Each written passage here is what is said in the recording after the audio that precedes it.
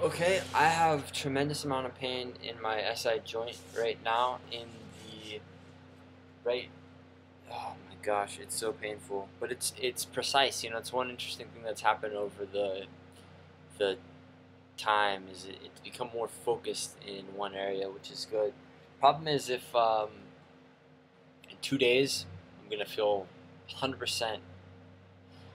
I'm not gonna feel 100% better, but I'll feel significantly better enough that I'll, I'll even kind of forget about oh maybe it'll get I'll start thinking maybe it'll get better. But uh, bottom line is my threshold um, there's a threshold that I that no amount of exercise and and core strengthening and stretching has helped. Um, not to say that those things don't help they, they have helped a little bit. Um, but the bottom line is the most I can do right now and have a tol- and have a tolerable amount of pain is walk about a mile a day. Anytime I lift anything, um, 25 pounds or any significant amount of lifting, it just tears it up.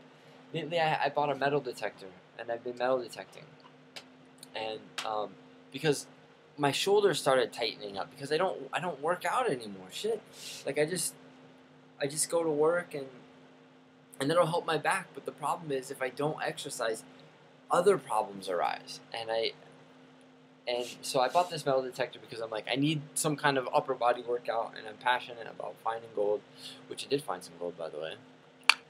Um, and and so I've made the decision that I, am gonna get injections. Um, I wish I had more money. That that that I could have access to a different type of doctor.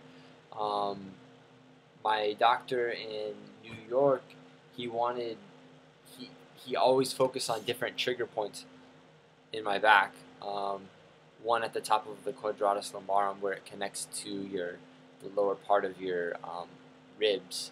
Um, there was a trigger point that he would always focus on right there. It was very sensitive, and he always wanted to to to to inject there first um, before doing uh, in other areas. And so, I mean, it's it's tough to to have a limited amount of income to do this with. I'm lucky to have health insurance. Um, the the health it, it seems to be decent, but it the health insurance that I have, the doctors, I mean, they're all about fixing things fast and doing the fastest way and getting you in and out as quick as you can.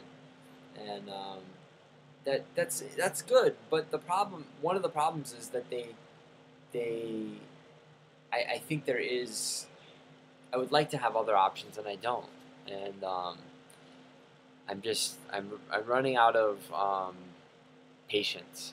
Um, it sucks. I I'm in so much pain right now and all, the the best thing I can do it seems to be to take Tylenol, and Tylenol works um, to a certain extent. Right now, it's not working, but um, um, I hope that uh, this will improve.